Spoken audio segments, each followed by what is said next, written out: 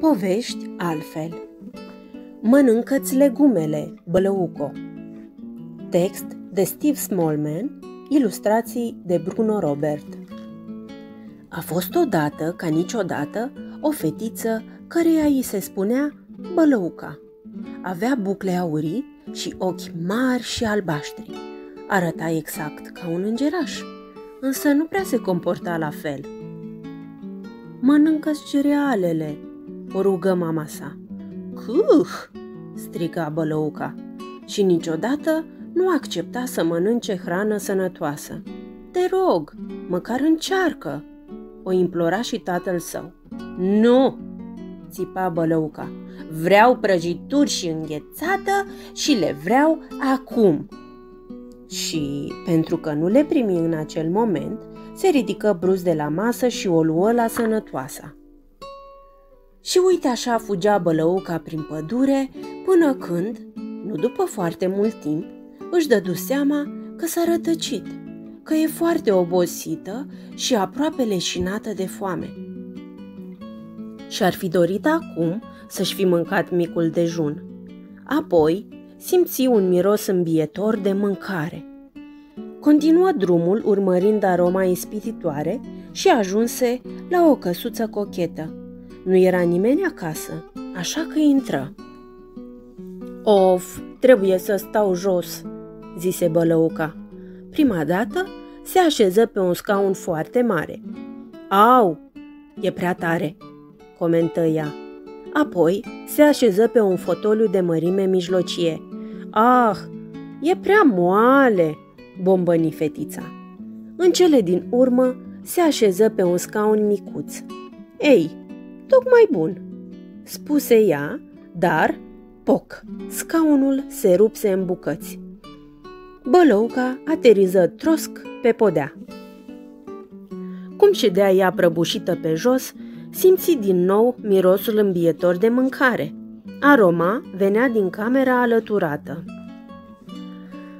Pe masă se aflau trei boluri pline cu griș cu lapte. Vai, ce mâncare oribilă! Dar foamea îi chinuia burtica atât de tare încât se hotărâ să încerce măcar. Prima dată gustă din bolul cel mai mare. Au, prea fierbinte, spuse și răsturnă bolul pe podea. Apoi gustă din bolul de mărime mijlocie.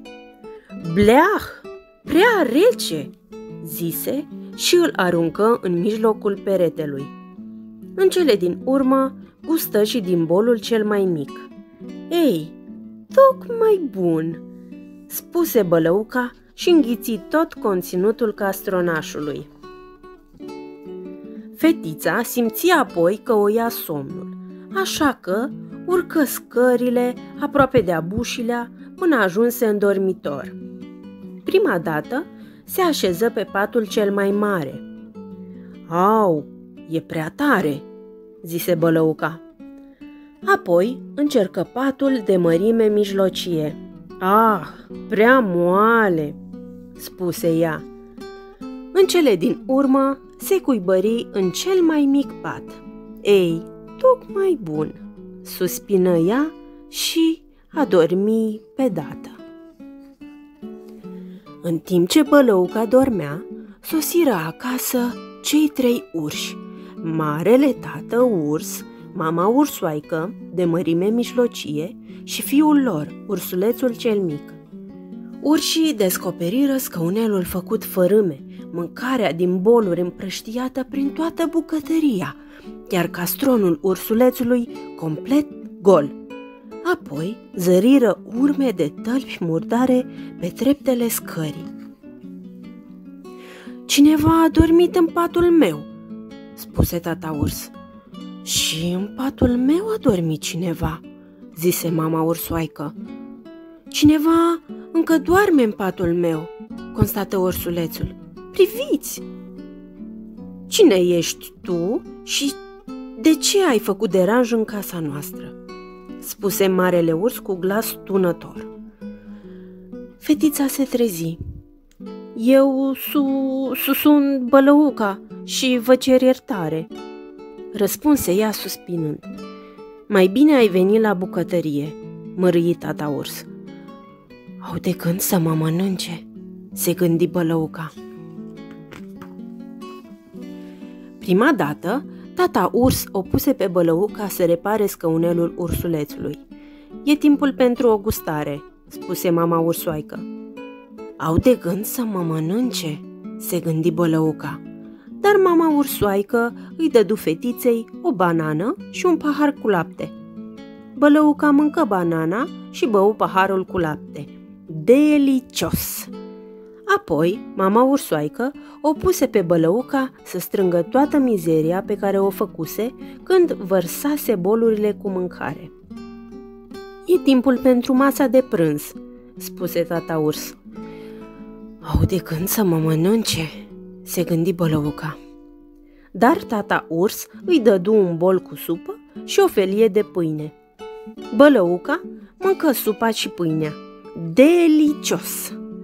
După ce bălăuca termină de spălat scările și de făcut paturile în dormitor, tata urs spuse E timpul pentru cina. Vă rog să nu mă mâncați, îi imploră bălăuca.